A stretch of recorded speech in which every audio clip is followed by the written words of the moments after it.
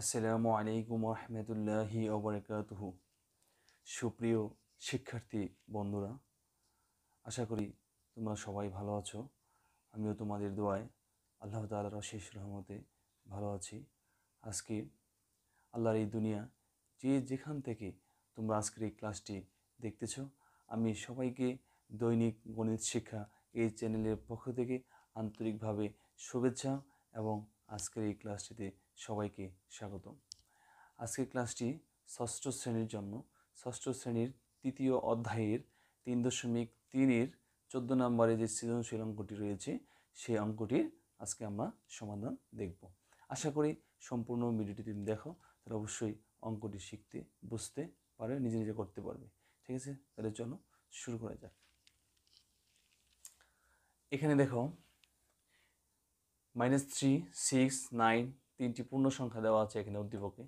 ক নম্বরে minus three এবং সিক্স নাইন এবং minus three minus three plus six এবং নাইন মাইনাস সিক্স এর মধ্যে গ্রেটার দেন লেস দেন এবং ইকুয়াল এই চিহ্ন এই বসাতে হবে। এই তিনটি চিহ্ন বসাও। তাহলে এইখানে এই তিনটা চিহ্ন বসাতে হবে। আর খ নম্বরে দেওয়া আছে minus minus three plus minus six plus nine এর মান নির্ণয় করো গ নম্বর সংখ্যা রেখার সাহায্যে মাইনাস থ্রি এবং সিক্সের যোগফল এবং নাইন এবং সিক্সের বিয়োগফল নির্ণয় করো। তাহলে এখানে ক নম্বরটা প্রথম আমরা করি। ক নম্বরে বলছে যে মাইনাস থ্রি এবং সিক্স আচ্ছা এখন দেখো এই মাইনাস থ্রি এবং সিক্স এই দুইটার মধ্যে কোন সংখ্যাটা বড়? তাহলে এটা বড় না এটা বড়? তাহলে এখানে কোন চিহ্নটা আমরা বসাবো? সমান বসাবো নাকি? তাহলে এখানে দেখা গেছে যে আমরা সংখ্যাটা লিখি, যেমন মাইনাস থ্রি এখানে সিক্স তাহলে এই মাইনাসের যে মানটা, এটা হচ্ছে কি? এটা হচ্ছে ছোট। এটা ঋণাত্মক মান, এটা ছোট। আর এটা ধনাত্মক মান, এটা হচ্ছে বড়। তাহলে আমরা এই চিহ্নটা ব্যবহার করব এইভাবে। ঠিক আছে? আচ্ছা তারপরে দেখো নাইন এবং মাইনাস থ্রি তাহলে নাইন মাইনাস থ্রি তাহলে এখানে দেখো নাইন হচ্ছে ধনাত্মক মান। মাইনাস থ্রি হচ্ছে ঋণাত্মক মান, তাহলে নাইনটা হচ্ছে কি বড় তাহলে এটা এই দিকে হবে। তারপর দেখো, মাইনাস, এখানে মাইনাস থ্রি প্লাস সিক্স আর নাইন মাইনাস সিক্স তাহলে minus three plus six nine minus six এখন দেখো সিক্স থেকে যদি থ্রি বাদ দিই, কত থাকে? থ্রি থাকে। আবার এখানে নাইন থেকে সিক্স বাদ দিলে থ্রি থাকে। তাহলে দুইটার মান একই হয়। যেহেতু এটার মানও থ্রি এটার মানও থ্রি হয়, তাহলে আমরা এখানে কি লিখব? সমান ইকুয়াল ঠিক আছে? তারপরে দেখো হ্যাঁ এই ক নম্বর অঙ্ক আমাদের শেষ, আর এই ক নম্বরে এইটুকু আনসার আমরা এখানে দেখো, আমি আরেকবার বুঝাই।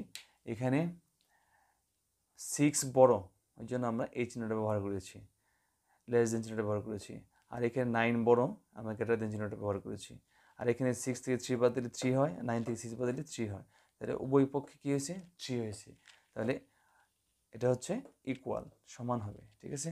আচ্ছা তাহলে চলো আমরা খ নম্বর অঙ্কটা করি।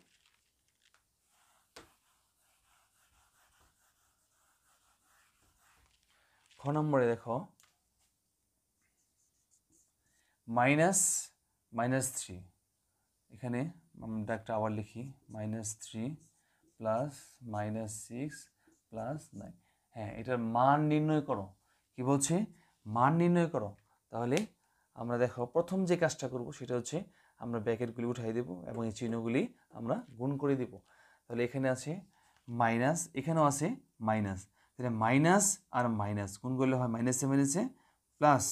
এখানে থ্রি আর এটা প্লাসে, মাইনাসে মাইনাস সিক্স, প্লাস নাইন। আর এখানে দেখো এই নাইনের আগে প্লাস, আবার থ্রির আগে কি? প্লাস। আর এখানে মাইনাস সিক্স তাহলে আমরা প্লাসটা আগে যোগ করে ফেলি। নাইন আর থ্রি যোগ করলে হয় কত? টুয়েলভ বাম পাশে প্লাস দেওয়ার দরকার নেই। এখানে আছে মাইনাস সিক্স তাহলে টুয়েলভ থেকে এই সিক্স বিয়োগ করলে হয় সিক্স এটা হচ্ছে নির্ণয় মান answer। আশা করি বুঝতে পারছ। তাহলে চলো আমরা ঘ নম্বর অঙ্কটা করি।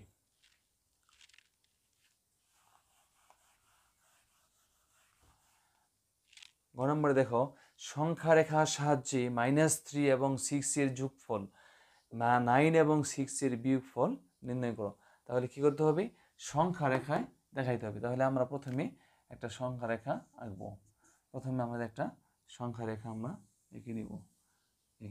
এখানে আমরা ধরবো, এটা হচ্ছে জিরো এটা হচ্ছে জিরো ডান দিকে যদি যা তাহলে প্লাস আমরা দিয়ে নিই one two three four five five পর্যন্ত আমরা দিয়ে নিলাম।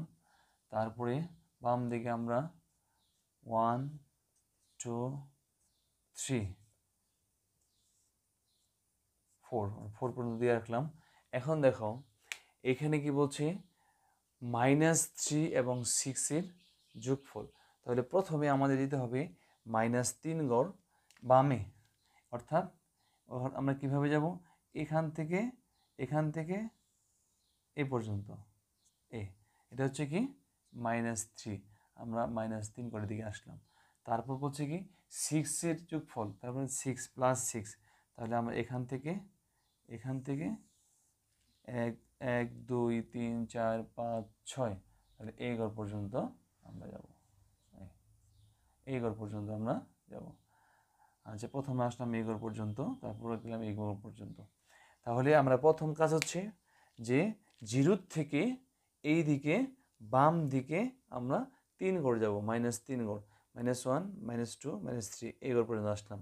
আবার এখানে আছে সিক্স তাহলে প্লাস সিক্স তাহলে আমরা এই, এখান থেকে এই দিকে যাব কয় গড় ছয় গড় তাহলে এখান থেকে শুরু, গোনা শুরু হবে এখান থেকে, এক, দুই, তিন, চার, পাঁচ, ছয়। এই যে ছয় গড় আসছে, এটা হচ্ছে আমরা প্লাস ছয় গড় ডান দিকে গেলাম, ঠিক আছে? এখন যাওয়ার পরে আমরা কি পেলাম? যে এখান থেকে, এই যে, এটা হচ্ছে আমাদের ঋণীয় মান, যে এখান থেকে আমরা কি পেলাম? প্লাস থ্রি পেলাম, ঠিক আছে? এখান থেকে আমরা প্লাস থ্রি পেলাম। তাহলে সংখ্যা রেখা দেখানো শেষ। আমরা এখন লিখবি যে সংখ্যা রেখা সংখ্যা রেখা, সংখ্যা রেখায় জিরো বিন্দু হতে জিরো বিন্দু হতে বাম দিকে বাম দিকে বাম দিকে কয় ধাপ?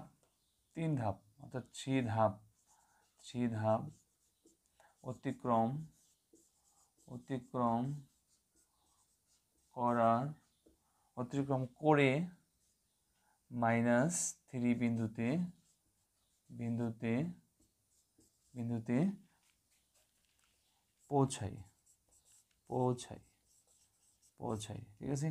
তারপর তারপর তারপর হচ্ছে, তারপর এই মাইনাস থ্রি বিন্দু থেকে ডান দিকে ছয় ধাপ। মাইনাস তারপর এই মাইনাস থ্রি থেকে থ্রি থেকে ডান দিকে ডান দিকে ডান দিকে ছয় ধাপ ছয় ধাপ অতিক্রম অতিক্রম করে করে থ্রি বিন্দুতে থ্রি বিন্দুতে থ্রি বিন্দুতে পৌঁছাই পৌঁছাই পৌঁছাই হ্যাঁ। তাহলে তাহলে এটা এটা কি হবে? যে আমরা কি বলছি যে মাইনাস থ্রি এবং সিক্স এর যোগফল। মাইনাস থ্রি প্লাস সিক্স যোগ করলে কত? সিক্স থেকে থ্রি বাদ দিলে প্লাস থ্রি হয়। তাহলে এটা আমরা যে মানটা পেয়েছি এটা হচ্ছে কি প্লাস থ্রি তাহলে এটা হচ্ছে প্রথম অংশের আনসার আর তারপরে এবং দিয়ে দেখো, এই যে নাইন এবং সিক্সের বিয়োগ ফল দিছে। আমরা বিয়োগ ফলটা এখন নির্ণয় করব।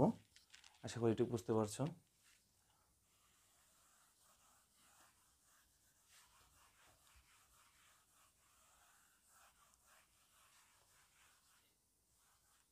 বিয়োগ ফলটা দেখি। এখানে আরেকটা সংখ্যা রেখা আমাদের রাখতে হবে। এখানে জিরো বিন্দু দিলাম। One two three four five six minus one minus two minus three minus four এই পর্যন্ত রাখলাম। এখন দেখো প্রথমে আছে কি? নাইন অর্থাৎ প্লাস নাইন তাহলে আমাদের কয় গড় যেতে হবে দিকে নয় গড় জিরোর থেকে জিরোর থেকে নয় গড় সেভেন, এইট হচ্ছে নাইন। তাহলে জিরোর থেকে, এখান থেকে আমরা যাব এদিকে নয় ঘর, এই পর্যন্ত। এই পর্যন্ত, নয় ঘর, ঠিক আছে? আচ্ছা তারপর হ্যাঁ এখান থেকে নয় ঘর। এখন, এটা হচ্ছে প্লাস নাইন তারপর দেখাও সিক্সের বিয়োগফল, অর্থাৎ অঙ্কটা এরকম হবে যে এখানে আছে nine. Nine plus nine minus six সমান সমান নাইন প্লাস এখানে মাইনাস সিক্স। অর্থাৎ আমরা মাইনাস সিক্স। এখান থেকে ছয় গড় আমরা এদিকে আসব, ঠিক আছে? এখানে সরলটা হবে নয় নাইন প্লাস মাইনাস সিক্স সমান থ্রি। তাহলে এখান থেকে আমরা এইদিকে আসব ছয় ঘর মাইনাস ছয় ঘর, এক এক, দুই, তিন, চার, পাঁচ, ছয়। এই যে ঘরটা হ্যাঁ? এটা হচ্ছে আমরা এখান থেকে এখান থেকে এই পর্যন্ত আসলাম। এটা হচ্ছে মাইনাস সিক্স ঘর, আমরা এদিকে আসলাম। যে বিন্দুতে আসলাম সেটা হচ্ছে থ্রি বিন্দু। তাহলে আমরা এখান থেকে কী পেলাম? এই যে এখান থেকে আমরা এই পর্যন্ত পেলাম হ্যাঁ? প্লাস থ্রি তাহলে আমরা লিখতে পারি যে প্রথমে প্রথমে শূন্য বিন্দু হতে বিন্দু হতে ডান দিকে ডান দিকে কয় ধাপ? নয় ধাপ। নাইন ধাপ নাইন ধাপ অতিক্রম অতিক্রম করে অতিক্রম করে হ্যাঁ আমরা নাইন বিন্দুতে পৌঁছাই। নাইন বিন্দুতে পৌঁছাই। পৌঁছাই। নাইন বিন্দুতে পৌঁছাই। তারপর তারপর, তার তারপর তারপর এই নাইন বিন্দু থেকে বাম দিকে, নাইন বিন্দু থেকে, নাইন বিন্দু থেকে বাম দিকে বাম দিকে বাম দিকে আমরা minus six minus six minus six ধাপ সিক্স ধাপ অতিক্রম অতিক্রম অতিক্রম করে অতিক্রম করে করে মাইনাস আমরা এখানে কি পেয়েছি? থ্রি প্লাস থ্রি হ্যাঁ এদিকে আমরা মাইনাস সিক্স ধাপ, অর্থাৎ ছয় ধাপ অতিক্রম করে আমরা প্লাস থ্রি বিন্দুতে পৌঁছাই। বিন্দুতে বিন্দুতে পৌঁছাই। পৌঁছাই পৌঁছাই। তাহলে এটা হচ্ছে তোমাদের এই নির্ণয় মানে যে আমরা নাইন মাইনাস সিক্স থেকে এখানে প্লাস দিয়ে এটা মাইনাস করে দিয়েছি মাইনাস সিক্স এখন প্লাসে মাইনাসে মাইনাস নাইন দিয়ে ছয় বদলে থ্রি তাহলে এটি হচ্ছে নির্ণয় সমাধান। তাহলে আশা করি তুমি বুঝতে পারছ সম্পূর্ণ অঙ্গটি তো সুপ্রিয় শিক্ষার্থী বন্ধুরা, আজকে এ পর্যন্তই। তো সবাই ভালো থাকো, সুন্দর থাকো, সকলের সুস্বাস্থ্য এবং দীর্ঘায়ু কামনা করি, সকলের সফলতা কামনা করি। আজকের মতো এখানে শেষ করছি। যারা দৈনিক গণিত শেখা, এই চ্যানেলটি এখনও সাবস্ক্রাইব করনি প্লিজ তোমার চ্যানেলটি সাবস্ক্রাইব করে ফেলো এবং পাশে থাকা বেল আইকনটি অল করে দাও, যাতে যে কোনো সময় যে ভিডিও ছাড়ার সাথে সাথে তুমি ভিডিও নোটিফিকেশনটা তোমার কাছে পৌঁছে যায়। সবার আগে তোমরা আমাদের ভিডিওগুলি পেয়ে যাও। তো ভিডিওটি লাইক দাও এবং বেশি বেশি করে তোমার বন্ধুদের মধ্যে এই ভিডিওটি শেয়ার করে দিতে অবশ্যই আশা করি বলব না।